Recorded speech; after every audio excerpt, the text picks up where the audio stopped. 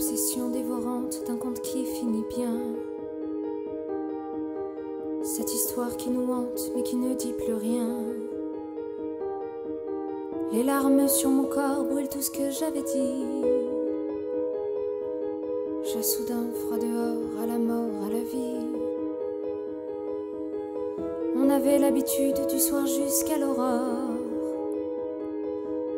de chanter ce prélude à la vie,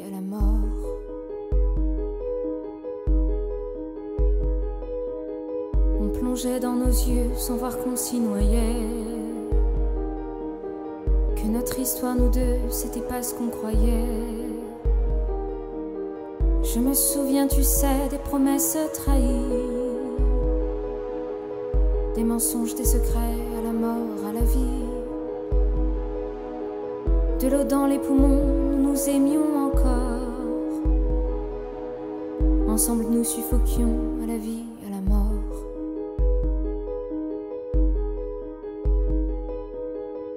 Tu m'attrapes à la gorge, soudain plus rien n'y passe. Plus d'amour, plus d'éloges et l'histoire se fracasse. Tes mains se serrent plus fort et moi je te supplie de m'aimer juste encore à la mort, à la vie. Sous tes cernes marquées, tu me murmures alors. Je t'aimerai à jamais,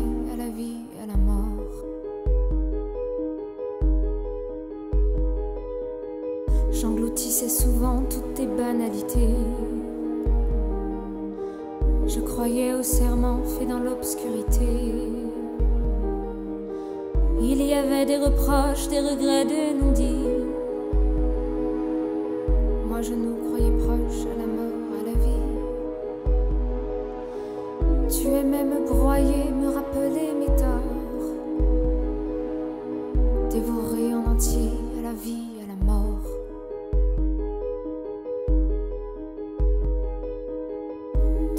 à la haine, je sais qu'il n'y a qu'un pas.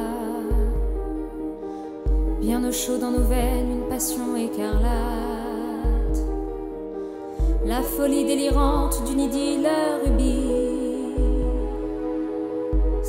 dans notre entre à la mort, à la vie. Y posa un venin qui ne faisait qu'éclore, qui nous tuerait demain à la vie, à la mort.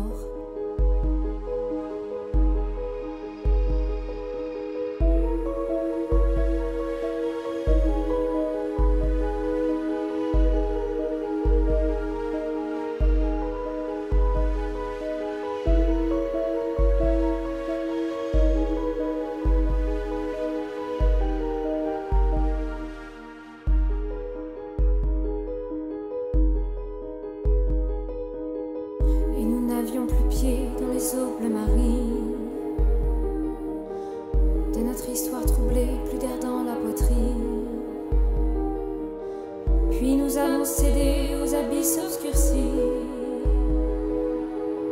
Des insultes jetées à la mort, à la vie.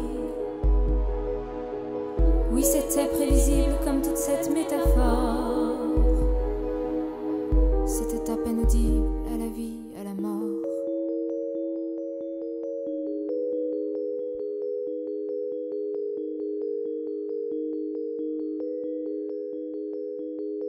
De la réalité, dans un triste décor,